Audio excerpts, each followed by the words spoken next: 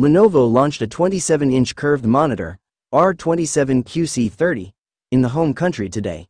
It comes with a 2K resolution panel and supports up to 180Hz high refresh rate, which makes it suitable for gaming. A curved monitor with adjustable stand and high refresh rate. As you can see from the image this is a curved panel and it has a curvature of 1500 R. According to the company, the curvature is in line with the viewing angle of the human eye. In addition to that, it is a VA wide viewing angle panel, which brings an immersive and distortion-free picture experience. It comes with a dimension of 258.8 mm by 385.0 mm by 610.4 mm and offers an aspect ratio of 16 to 9. The panel offers a resolution of 2560 x 1440.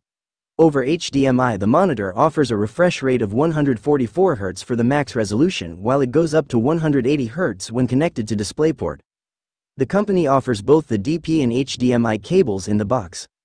The monitor offers a response time of 0.5 milliseconds, offers a static contrast ratio of 1000 to 1, and covers 99% of the sRGB color gamut. The panel is also certified by TÜV Rheinland for low blue light emissions. The stand supports a tilt of minus 5 degrees to 22 degrees, a swivel of minus 30 degrees to 30 degrees, a pivot of minus 90 degrees to 90 degrees, and a height adjustment of 120 millimeters. The product weighs 6.1 kilograms, 13.4 pounds, with the stand assembly included and 4.2 kilograms, 9.3 pounds.